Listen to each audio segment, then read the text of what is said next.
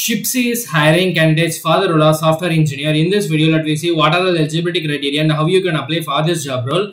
First, let me see the company profile. At Shipsy, we aspire to be at the front forefront of technology with the next generation product that change the way logistic is managed and positively impact millions of people over the past six years.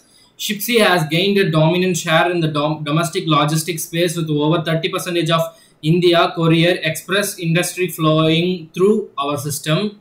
This is a company profile. Job role software engineer.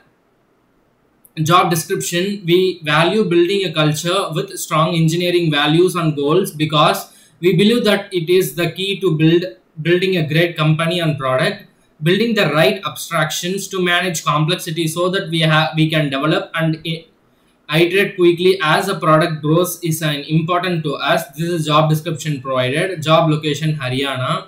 Experience 0 to 0 years of experience. Salary 4 to 5 lpa eligibility criteria be btech CSE, it and ece 2021 are eligible. 0 to 0 years of experience needed. Interview process online test plus coding tr and hr before going for registration use these links to prepare a resume. Like your bro so that you will be getting an interview call uh, this is a interview sorry telegram link given in the description box. If you want to ask any queries you can ask me via the telegram channel. I'll be giving the telegram links in the description box. Makes use of it.